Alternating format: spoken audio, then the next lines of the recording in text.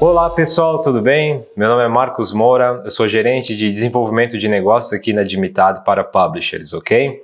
No vídeo de hoje eu vou fazer um breve tour pela plataforma, então vamos lá. Quando você fizer o login na nossa plataforma, você vai se deparar com essa tela aqui, que você está vendo aí no, na sua tela, tá? Aqui da esquerda para a direita temos as ferramentas, tá? Vamos ver alguma delas nos próximos vídeos, os programas onde você adiciona as lojas na qual você quer trabalhar e ver todas as informações, certo?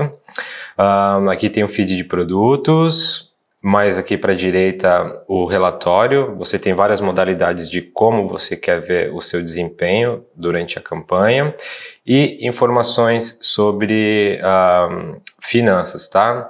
O seu histórico de, de pagamento, etc.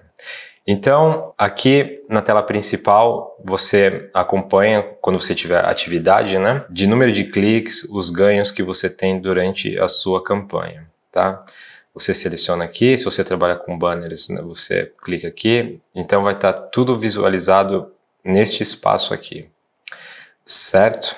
À sua direita aqui, no, na, na direita extrema, você tem, por exemplo, quando você tiver algumas vendas, essas coisas, você vai ter aqui uh, o valor que está em espera, né? Quando você faz uma venda, a, a loja, por exemplo, AliExpress, Banggood, elas têm um tempo para processar esse pagamento, então o valor vai estar tá escrito aqui. E quando tiver confirmado, vai estar tá com status confirmado e você pode retirar o dinheiro. Aqui você está vendo que está em dólar, né? Mas você tem a opção de da sua moeda local, no caso do Brasil, o real, né? Se você é, for um publisher de Portugal, você pode escolher o euro.